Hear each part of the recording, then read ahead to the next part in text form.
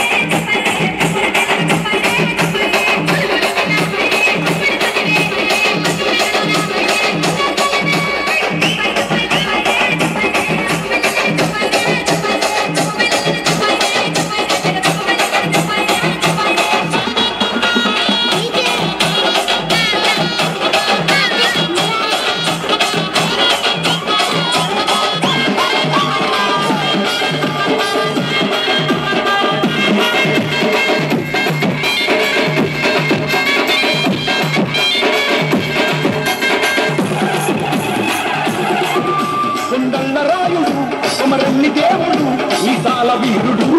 సుందరాయుడే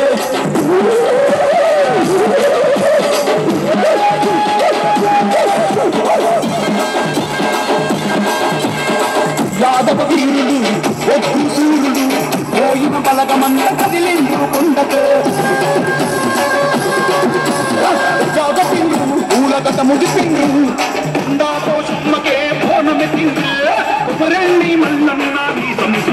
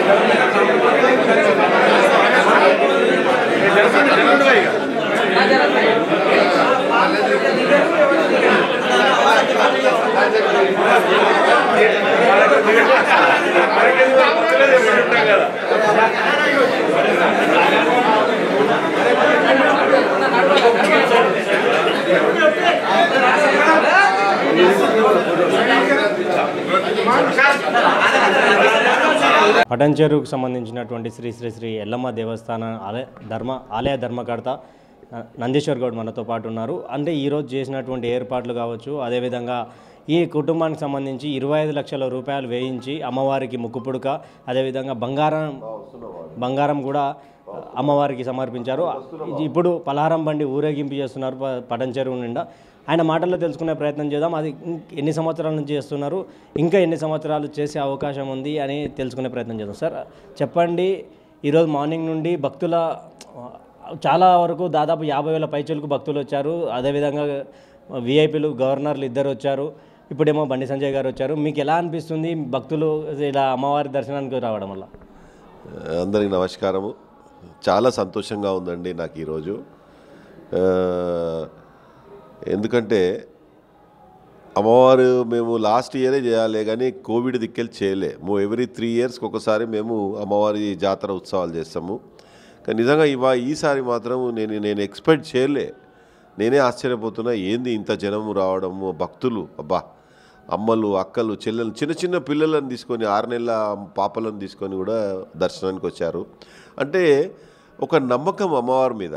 అంటే అక్కడ మొక్కుతే మాకు మా కోరికలు తీరుస్తాయనే ఒక నమ్మకంతో వస్తున్నారు వచ్చిండ్రు. మేము ఎప్పుడు కూడా లాస్ట్ టైం చేసినప్పుడు కూడా ఇంతమంది రాలేదు ఎందుకంటే కోవిడ్ దిక్కేళ్ళి రాలేకపోయారు అప్పుడు త్రీ ఇయర్స్ బ్యాక్ మరి ఇవాళ చాలా బాగా అయింది దానికి నాకు ఇద్దరు గవర్నర్స్ రావడము ఆశ్చర్యపోతున్నారు అందరూ కూడా. ఏదైనా సాయి గారు రావడము అదేవిధంగా మన దత్తాత్రేయ గారు పొద్దున హర్యానాకి వెళ్ళి వచ్చి నేను పాపం. ఎంత నేనైతే ఆయనకు ఇద్దరికి కూడా నేను జీవితాంతం రుణపడి ఉంటాను. మా ప్రాంత ప్రజలు నేను ఒకటే కోరుకుంటున్నా. అమ్మవారిని ఒకటే కోరుకున్నా. మా ప్రాంతంలో ఉన్న ప్రజలందరినీ కూడా సంతోషంగా ఉంచాలి. పిల్లలకు మంచి భవిష్యత్తు ఇవ్వాలి. వాళ్ళకు మంచి తెలివితేటలు చదువును ప్రసాదించాలని చెప్పేసి అమ్మవారిని ఆ రేణుకా ఎల్లమ్మ తల్లిని ప్రార్థించడం జరిగింది. ఇప్పుడు మళ్ళీ అమ్మవారి ఊరేగింపుకు మరి బండి సంజయ్ గారు రావడం జరిగింది. బండి సంజయ్ గారు ఆయన అయ్యం ఆయన కూడా అమ్మవారి భక్తుడు ఆయన కూడా. ఆ ఊరేగింపు చూస్తే కొన్ని నేనైతే ఆశ్చర్యపోయినా. కొన్ని వేల మంది ఉన్నారు ఇక్కడ అక్కడ ఇప్పుడు. చాలా బాగా అవుతుంది ఊరేగింపు. కూడా ఇంకా నడుస్తూ ఉంది. నేను అనుకుంటే రాత్రి రెండు గంటల దాకా నడుస్తుంది అది ఊరేగింపు. చాలా బాగా అయింది. చాలా సంతోషంగా ఉన్నా నేను. ఆ తల్లి అందరినీ మంచిగా చూడాలి. సుభిక్షంగా ఉంచాలి. అష్టైశ్వర్యాలను ప్రసాదించాలి. అమ్మవారికి ఇంకా మాకు శక్తిని ఇవ్వాలి ఎందుకంటే ఈ అన్నీ కూడా చేయాలంటే శక్తి కావాలి. ఆ శక్తిని ఎవరిస్తారో అమ్మవారు ఇవ్వాలి అమ్మవారు ఇస్తేనే నాకు ఇవాళ చేయడానికి సాధ్యమైంది. ఇదే విధంగా బండి సంజయ్ గారికి కూడా ఆ తల్లి రాష్ట్రంలో భారతీయ జనతా పార్టీని గెలిపించే విధంగా రేణుకా ఎల్లమ్మ దేవి బండి సంజయ్ గారికి శక్తిని ప్రసాదించాలని చెప్పేసి కూడా కోరుకుంటూ మరి ఇవాళ ఇప్పటి వరకు కూడా ఈ రాష్ట్రంలో స్వాతంత్రం వచ్చినప్పటి నుండి బ్యాక్వర్డ్ క్లాస్ ముఖ్యమంత్రి ఇప్పటి వరకు కాలే. అన్ని పార్టీలలో బీజేపీ కానివ్వండి సారీ టీఆర్ఎస్ కానివ్వండి టీడీపీ కానివ్వండి కాంగ్రెస్ కానివ్వండి ఇప్పటి వరకు ఒక బీసీ సీఎం కాలే. కానీ ఇవాళ నరేంద్ర మోడీ గారు మన రాష్ట్ర మన దేశ ప్రధానమంత్రి గారు మరి ఆయన ఒక బీసీగా మరి ఇవాళ ఉండడం జరిగింది. అదేవిధంగా ఒక బీసీని రాష్ట్ర అధ్యక్షునిగా మరి ఇక్కడ తెలంగాణ స్టేట్కు చేయడం జరిగింది. నేను ఒకటే కోరుకుంటా ఉన్నాను ఆ తల్లిని ప్రార్థిస్తూ ఉన్నాను. ఒక్కసారి ఈ రాష్ట్రంలో భారతీయ జనతా పార్టీని గెలిపియండి. ఈ పార్టీ హిందువుల కొరకు హిందువుల ధర్మం కొరకు దేశం కొరకు మరి భారతీయ జనతా పార్టీ మరి పోరాడుతున్నటువంటి పార్టీ. కాబట్టి కాపాడుతున్నటువంటి పార్టీ భారతీయ జనతా పార్టీ. కాబట్టి ఒక్కసారి ఒక ఛాన్స్ ఇవ్వండి బీజేపీకి కూడా. బీజేపీ ఏం చేస్తుందో చూడండి. ఈ ఒక్కసారి ఛాన్స్ ఇస్తే ఒక బడుగు బలహీన వర్గాల నాయకుడు ముఖ్యమంత్రి అయ్యే ఛాన్స్ ఉన్నది ఇవాళ. కాబట్టి సోదరులారా ఇవాళ మరి నాలుగు కోట్ల జనాభాలో మనము యాభై ఏడు శాతం ఉన్నాం ఇవాళ. అంటే రెండు కోట్లకు పైన ఇవాళ బీసీలు పరి బీసీలు ఉన్నటువంటి రాష్ట్రము తెలంగాణ రాష్ట్రం. కాబట్టి నేను ఒకటే కోరుకుంటా ఉన్నాను. బీసీలందరూ కూడా ఐక్యత్వంగా ఉండాలి ఐక్యంగా ఉండాలి. రేపు వచ్చే భారతీయ జనతా పార్టీ ఎప్పుడు ఎలక్షన్స్ వచ్చినా మనం అందరం కూడా బీజేపీ ఓటేసి బండి సంజయ్ గారి నాయకత్వాన్ని బలపరచాలని నేను కోరుకుంటూ మరి ఇవాళ ఈ యొక్క ప్రోగ్రాంను సక్సెస్ చేసినటువంటి ప్రతి ఒక్కరికి భక్తులకు అందరి కూడా పేరు పేరున నా ధన్యవాదాలు. జై శ్రీరామ్. ఇప్పుడు అసలు దేవుడే లేరు అని చెప్పి ఒక నాస్తికవాదం పేరు పేరు మీద కొంతమంది అమ్మవార్ల మీద కావచ్చు దేవుళ్ళ మీద కానీ కించపరిచే మాటలు మాట్లాడుతున్నారు. అదేవిధంగా జైలుకు వచ్చిన తర్వాత కూడా దేవుళ్ళు లేరు అని చెప్పి టీవీ నైన్ డిబేట్లు కావచ్చు పెద్ద పెద్ద ప్రముఖ ఛానల్లో చెప్తున్నారు. మరి ఈరోజు చూసుకుంటే ఇంతమంది దాదాపు యాభై వేల పైచులకు జనం వచ్చి అమ్మవారిని భక్తురాళ్ళుగా భక్తులుగా వచ్చారు. వాళ్ళకి ఏం చెప్పదలుచుకున్నారు సార్ మీరు? మూర్ఖులండి. ఇప్పుడు మేము ఏ మతానికి మేము హిందూ హిందువులం అనే వాళ్ళము. మోడీ గారు సబ్కా సాత్ సబ్కా సబ్కా వికాస్. మాకు ఎవ్వరి మీద ద్వేషం కానీ ఏ మతం పైన ద్వేషం కానీ మాకు లేదండి. మా దగ్గర కూరని వస్తే ఇప్పుడు ఇవాళ ఇవాళ వాడు ఫాల్తుగాడు ఒక ఆయన వచ్చి ఆయన పేరు ఏదో ఉంది వచ్చి మ్యూజియం అది హైదరాబాద్లో పోలీస్ ప్రొటెక్షన్ పెట్టుకొని పెద్ద హంగామా చేసిపోయిండు వాడు. హిందువుల దేవతలను తిట్టేసి. అది మేము ఎవరు? మేము ఎవరైనా ముస్లిం దేవతలను కానీ క్రిస్టియన్లను కానీ ఎవరైనా తిడుతున్నామా? హిందువులం మేము? బండి సంజయ్ గారు తిట్టారా ఎప్పుడైనా? నరేంద్ర మోడీ గారు ప్రధానమంత్రి గారు ఎవరైనా తిట్టాడా? అరే ఎందుకండి ఈ విధంగా రెచ్చగొట్టే మాటలు అక్బరుద్దీను? వాడైతే అసలు ఒక పదిహేను నిమిషాలు మాకు టైం ఇస్తే హిందువులందరినీ కూసేస్తున్నాడు. ఎందుకు? ఎవడన్నమన్నాడు ఆ మాట? గాయకా ఘోష్ కానా అంటాడు. అరే ఎక్ బార్ టేస్ట్ కర్కే దేకో అని అంటాడు ఆయన. హిందువులను తిడతాడు హిందూ దేవతలను తిడతాడు. అరే ఈ విధంగా ఒక మతాన్ని ఇలా హిందూ ధర్మాన్ని నువ్వు నువ్వు కించపరిచే విధంగా మాట్లాడడం అది కరెక్ట్ కాదు. మేము ఎప్పుడు కూడా ముస్లింలను కానీ క్రిస్టియన్లను కానీ తిట్టలేదు కదా ఎక్కడ కూడా బీజేపీ పార్టీ వాళ్ళు. ఇవాళ భారతదేశంలో నూట నలభై కోట్ల జనాభా ఉంది. ఈ నూట నలభై కోట్ల జనాభాలో ఎనభై ఐదు శాతం హిందువులు ఉన్నారండి. హిందువులు తలుచుకుంటే ఎంతసేపు? ఉంటారా ఎవరన్నా ఈడ? కానీ అట్లాంటి ఆలోచనే లేదు హిందువులకి. అందరం కలిసిమెలిసి ఉండే దేశమే ఇవాళ భారతదేశం. కాబట్టి మాకు ఎలాంటి మాకు ఏమీ ఎవరి మీద మాకు ఎట్లాంటి భేదాభిప్రాయాలు లేదు. మా జోలికి వస్తే మాత్రం మేము వదలం. మేము ఎవరి జోలికి పోము. కాబట్టి మేము హిందూ ధర్మాన్ని కాపాడుతాము. దేశం కొరకు ధర్మాన్ని కొరకు మా ప్రాణాలు పోయినా సరే మేము నిలబడతాం దాని కొరకు. ఏ ప్రాణం ఏందండి? ప్రాణం ఉంటుంది పోతుంది ఇది. ఎలా ప్రాణానికి భయపడి ఏదో రాజకీయాలు చేస్తలేము హిందుత్వం ఏదో ఇవాళ ఇంత పెద్ద ఊరేగింపు చేసి మేము భయపడని మేము అవసరం లేదు మాకు. మేము ధర్మం కోసం నిలబడుతున్నాము. ఏ ఎవ్వడికి భయపడం మేము. మేము దలుచుకుంటే ఎంతసేపు? రెండు నిమిషాలు పట్టదు మేము. ఆడు పదిహేను నిమిషాలు అన్నాడు కానీ రెండు నిమిషాలు పట్టదు మాకు సాఫ్ చేయనీకి వాళ్ళను. కానీ మేము ఆ ఉద్దేశం ఉద్దేశమే లేదు మాకు. మాకు రెచ్చగొట్టే మాటలు మేము మాట్లాడము కూడా. ఈ విధంగా దయచేసి మమ్మల్ని రెచ్చగొట్టకండి. మా జోలికి రాకండి మీ పని మీరు చేసుకోండి మా పని మేము చేసుకుంటాం మా ధర్మాన్ని మేము కాపాడుకుంటాం. అంతే అండి. అంగరంగ వైభవంగా ఈ అమ్మవారి జాతర జ జరిపించినందుకు కూడా మా ఫోర్ సైట్ న్యూస్ నుంచి మీకు చాలా శుభాకాంక్షలు సార్. నందీశ్వర్ గౌడ్ గారు చెప్తున్నటువంటి మాట ఇద్దరు గవర్నర్లు మా నా వేదిక నా నా దగ్గరకు వచ్చి అమ్మవారి దర్శనం చేసుకోవడం అదేవిధంగా తెలంగాణ గవర్నర్ అయినటువంటి తమిళసాయి గారు బోనం ఎత్తుకొని అమ్మవారికి సమర్పించడం నాకు చాలా అంద సంతోషకరం. జీవితంలో వారిద్దరిని నేను గుర్తుపెట్టుకుంటా. త- సంబంధించి నియోజకవర్గం సంబంధించినటువంటి వ్యక్తులు కావచ్చు భక్తులు కావచ్చు సంగారెడ్డి జిల్లాకు సంబంధించినటువంటి భక్తులు కావచ్చు వీరందరూ అమ్మవారి దర్శనం చేసుకున్నందుకు ఇంత గ్రాండ్ సక్సెస్ చేసినందుకు వీరందరికీ నేను రుణపడి ఉంటానని చెప్పి నందీశ్వర్ గౌడ్ గారు చెప్తున్నటువంటి మాట. రేణుకేలమ్మ దేవస్థానం ఆలయ ఆలయానికి సంబంధించినటువంటి ఆశీష్ గౌడ్ మనతో పాటు ఉన్నారు. ఆయన మాటల్లో తెలుసుకునే ప్రయత్నం చేయడం ఏర్పాట్లు కూడా భారీ ఎత్తున చేశారు. అదేవిధంగా ఆయన ఏం మాట్లాడుతున్నారు? ఈ జనాన్ని చూసి ఆయన ఏం చెప్పదలుచుకున్నారు? అన్న చెప్పండి. ఏ అంటే ఈ జనాన్ని చూసి యువకులు అదేవిధంగా వేషాలు డీజే సప్పుళ్ళు డప్పు సప్పుళ్ళు ఇవన్నీ చూస్తున్నారు కదా. ఇంతమంది యువకులు మార్నింగ్ రంగారెడ్డి జిల్లా వ్యాప్తంగా అందరూ వచ్చారు కదా. ఏం మాట్లాడతారు? సంగారెడ్డి కాదండి యావత్ తెలంగాణ అన్ని ప్రాంతాల నుంచి వచ్చారు సార్. ఇది చాలా సంతోషకరం.